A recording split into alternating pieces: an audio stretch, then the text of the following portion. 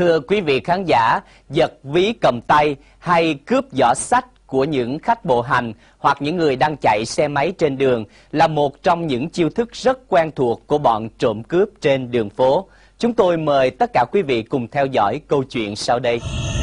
Ừ, thì hôm đó chị đi dậy về, chị đi quẹo qua đường Trần Đạo, quẹo qua Lý Tự Trọng đó em. Thì ờ, chị đang chạy xe, chậm chậm thôi cũng sát lề, tại vì chị định tìm cái địa chỉ của một người bạn á. Chị Quỳnh là giáo viên của một trường tư. Hôm đó sau khi dạy xong Chị có việc cần đến nhà một người bạn. Thôi Ngay đó cũng gần mà. Máng đi đi Ở cốp có công quá.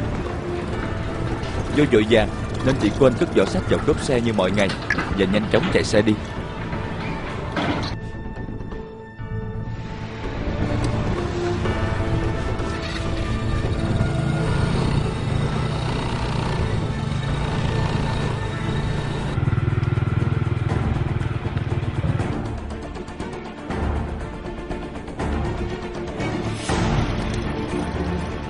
Nhưng giữa đường, Lúc chị Quỳnh quẹo qua một con đường khác Thì có hai thanh niên lạ mặt chạy xe máy bám theo chị.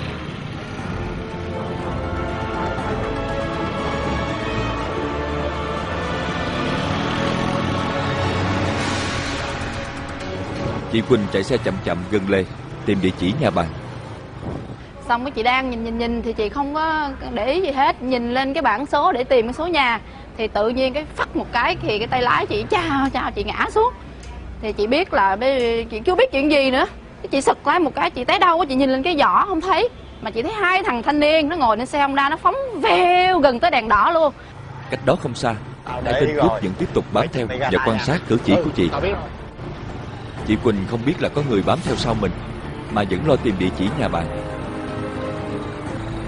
Bọn cướp tiếp tục quan sát và nhân lúc chị Quỳnh bất cẩn nhất chúng liền ra tay nhanh lẹ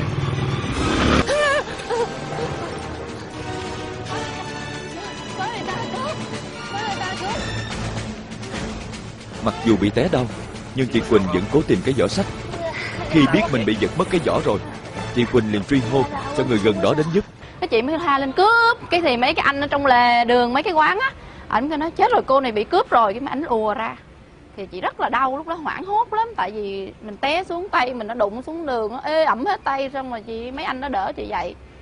Đại khái là mấy anh thanh niên ở gần quán đó, Coi xe, bảo vệ gì đó, chị không biết, Thấy tội nghiệp đỡ lên bọn cướp thì nó gan thiệt nha.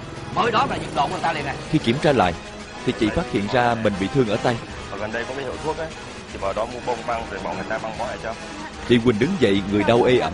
Nhìn xung quanh chị không thấy hai tên cướp đâu mà chị thấy cái quai giỏ sách dướng trên xe. Còn cái bóp thì nó rứt lại. Cái hôm đó cái giỏ chị nó cũng cũ rồi nó bị mục cái quai sau đứt thì cái tay lái chị nắm lên cái quai còn dính lại. Chắc gì như vậy nên chị té hay sao á. Còn cái cái phần dưới thì nó giật ra được những người chứng kiến sự việc bảo chị đi trình báo công an sớm để bắt được bọn cướp. Xích đây nè, công an đây nè. Cảm ơn anh nhiều. Ghê không? Mới đem giật đồ ra liền. Chị Quỳnh buồn bã đi trình báo công an, nhưng nghĩ mình vẫn còn may mắn vì chỉ bị trầy xước nhẹ mà thôi. Chị quẹo ở đây nè, công an phường nằm đây nè. Thường thì cái giỏ gì để trong cốp xe Nhưng mà hôm đó là sơ ý vội á Cho nên qua cái máng nó chưa kịp bỏ vào đi sơ sẩy tí thôi là bị liền. Có nghĩa là thường ngày mình rất cẩn thận nhưng mà hôm đó mình mình quên cái sự cẩn thận của mình quên một chút đi á, là bị. À chị nhìn thấy sau lưng thôi bởi vì xe chạy nhanh lắm mà chị biết là xe xịn xe tay ga. Hai người mặc đồ áo sơ mi quần tây đóng thùng rất là lịch sự. Chị không nghĩ là là cướp đâu. Chị nhìn lên thì nó còn quay lại nó nhìn chị nó cười nữa. Tại xa nhưng mà chị nhìn chị biết được là chúng cái xe đó nó nhìn nó cười khẩy cầm bóp chị nó dơ dơ lên như vậy nè mà cái quai bóp thì dứt lại trên xe chị á. Cái hôm đó là bây giờ tới giờ chị sợ lắm không bao giờ chị để cốp ờ, để giỏ ngoài cốp nữa.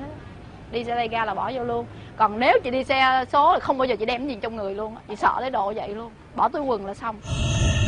Chúng tôi xin được dùng lời nói của nạn nhân để thay cho phần kết chuyện và bài học kinh nghiệm rút ra.